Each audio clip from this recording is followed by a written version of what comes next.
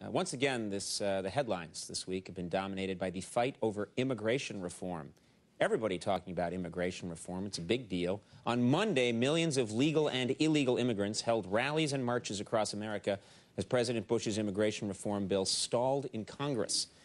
Well, I thought we'd take just a few minutes to explore this controversial social issue. So let's start by talking with the man himself, the man at the center of, uh, of this issue, President George W. Bush. Let's get him in here.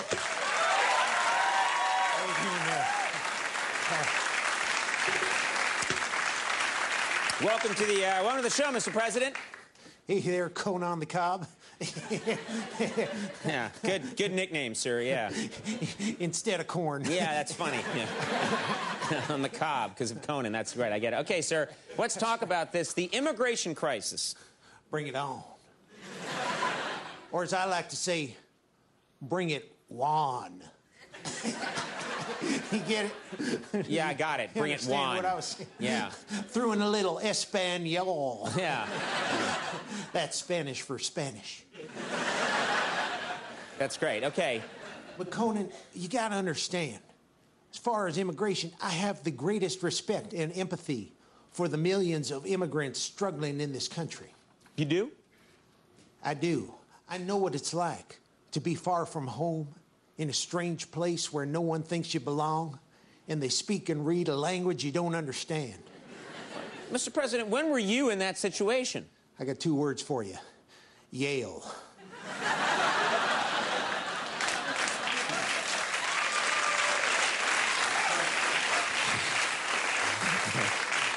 I see. All right. Habla understand. Yeah, I habla understand. That's Spanish for I habla understand. That's right. Yeah, okay, now I see. Now, the fact is, sir, the immigration issue is one that's really close to your heart, isn't it?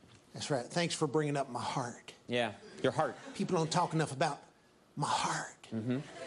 Conan, we need to be proud of the immigrants in this country. These people come here at great personal risk to do all the jobs that we can't send to India.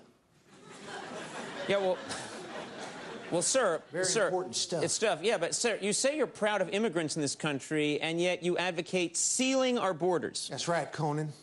In fact, we're going to build a wall around the entire country, starting with the eastern seaboard. But wait a minute, sir, you don't need a wall for the East Coast. It's bordered by the Atlantic Ocean. Okay. well, then, mission accomplished. All right, that's great. You can, you can, you can put that away now. That's fine. Now, Mr. President, do you think it's appropriate that you and other Republicans are framing the immigration issue as part of the war on terror? All right, let me tell you something, Chili Cone Coney. Okay? It is, it is a part of the war on terror. Hmm. That's why it's important that we distinguish between those people who are seeking freedom and those who are seeking freedom because they hate freedom.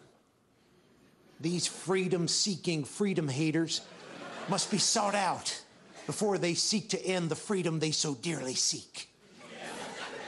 Sir, I'll give you $50 if you can say that sentence again. You're on. These freedom heba jamba jumba Yeah, okay. pick the peck of pickle peppers. That's very nice. Come on, that's worth 20. All right, we'll give you 20 bucks. Thank you, President. Weird. All right, now let's uh, speak to a. Uh, let's speak to a public official who's been particularly vocal on the subject of immigration. Guess So- who it is? Me! Right, Let's talk already! I'm here to discuss yes. the immigration. Immigration. All right, Governor Arnold Schwarzenegger. Thank you for being here. Yeah. Colin, I want to weigh in on the immigration issue too. Okay. Yes. Yeah, here's my take. Okay. Let's hear your take. We have to keep out the foreigners.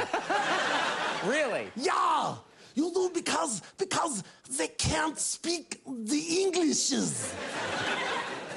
and Conan, their diction, it can only be described as Fleigengrappenschleifen. Okay. What does that mean? It means that these people lack the basic Wassertruden to achieve the Glubensnitzen. Oh, for God's sake, that is that is so stupid. You're so stupid. No. And you're striking Kragen. Oh, okay. Well, Arnold, am I, Oh. okay, am I to... Uh, That was just groaning at You the end. You heard me? yeah. Oh. All All right. Almost did the Heimlich on you. So, Arnold, am I to understand that you do not support immigration? Conan, no, no, no, don't get me wrong. I very much admire the people who try so desperately to get into this country. You do. You do Yeah, admire yeah, yeah, of course. Yes. These are people who risk life and limb, swim across rivers, crawl through hand-dug tunnels, and give up everything they had just so that their children might one day see my all-time smash holiday classic, Jingle All the Way. Oh,